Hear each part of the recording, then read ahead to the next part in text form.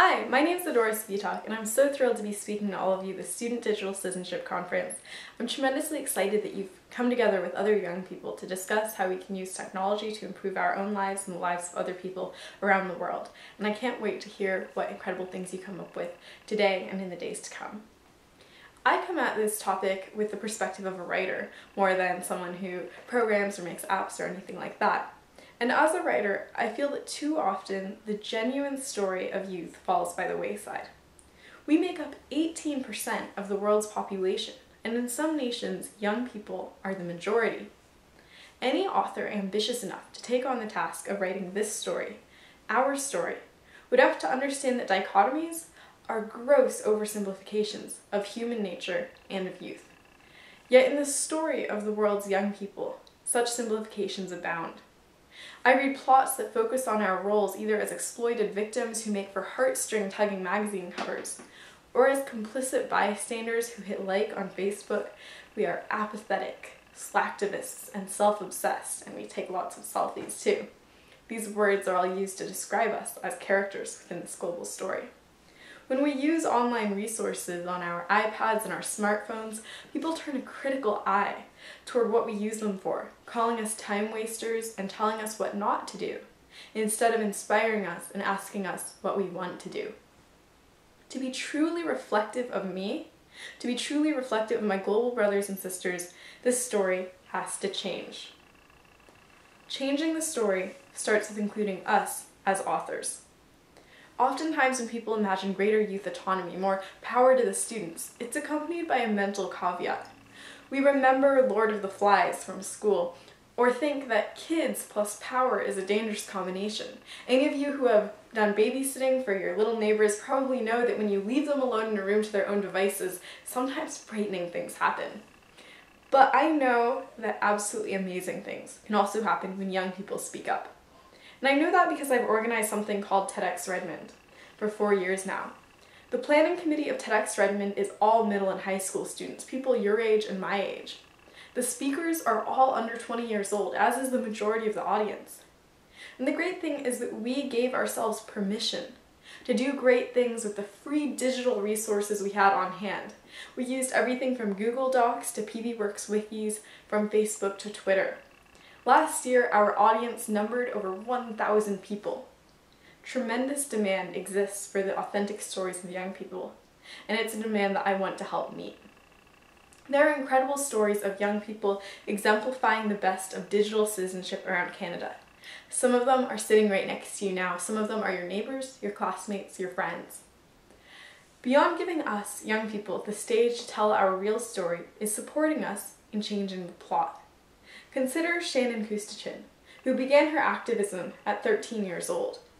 She went to school in portables for eight years and decided that enough was enough.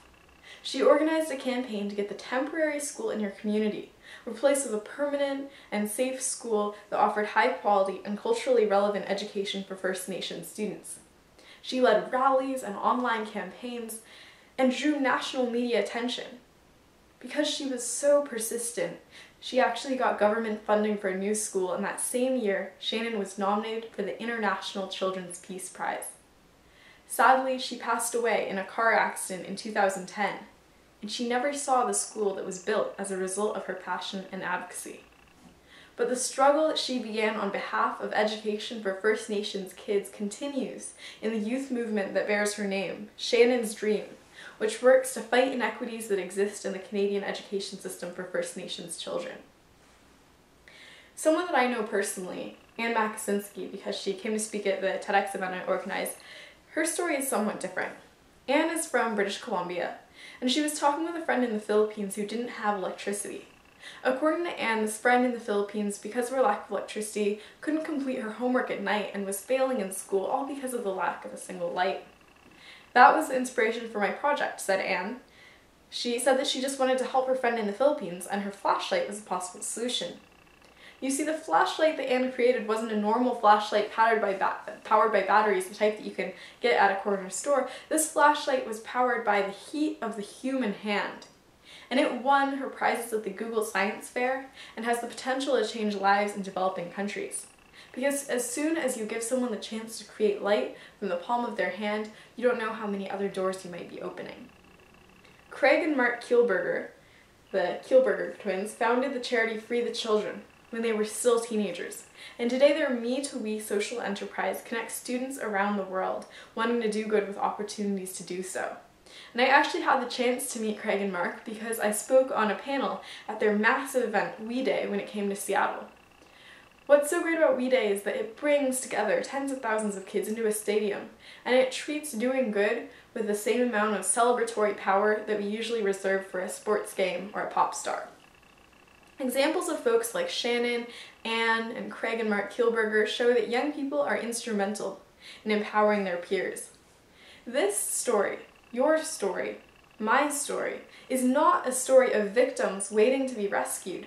This is a story of young people helping each other help themselves. More of this kinds of grassroots action needs to be discovered, publicized, and supported. Furthermore, it's worth realizing that young people have increasing power in new settings by using the tools we have at our disposal. You need look only to the examples of speakers at conferences like TED or TEDx events, people like Shannon, Anne, Craig, and Mark, to see that we're creating change online. Sometimes we're condemned as slacktivists, because the impression is that we do little more than click like on Facebook. But in truth, online social movements can be responsible for massive social change. Social change as dramatic as toppling regimes, or as intangible yet crucial as attitude shifts. I want you to pull out your smartphones if you have them. Go to Facebook. Yes, I just gave you permission to do that. Look up groups and causes that you want to support. Look up your favorite charities, local nonprofits, schools, and campaigns. Like them so you can receive stories and information from them. Learn about the organization and find out ways you can help.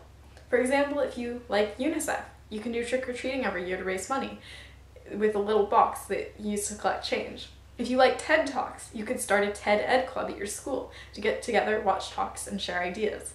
And if you're particularly passionate about an organization and really want to go above and beyond, you could find internship opportunities or advisory board positions or contact information for someone in charge on their website. This ability we have to use technology means that there are no excuses anymore. We can be the solutions and not problems. And this means that instead of adults always asking how our online presence can be controlled, they will consider how we can be utilized, how our abilities can be utilized for our shared goals. Coming of age in a digital world Young people like you and me are truly redefining ourselves. If there's one word that I want you to walk away with, it's this redefine. Because we are not stock characters in a storybook, the victims in distress waiting to be rescued when the grown ups arrive, or the narcissistic villains of the me generation. We're not just taking selfies of ourselves and uploading them to Facebook. We are truly finding information from the groups that we care about. We are sharing stories that are important and need to be heard, and we are helping each other. Our world is no fairy tale. And yet, perhaps one of the most precious things about us, about people our age, is that even as we break free from the dichotomous assumptions about us and who we are as characters within the global story, we strive for the same ending. You see, in all the naivete or hope of my youth, I want to believe, no matter how great the conflicts, how vicious the problems, that our story will end with that same oft-heard line as so many childhood tales, and so they lived happily ever after. Thank you.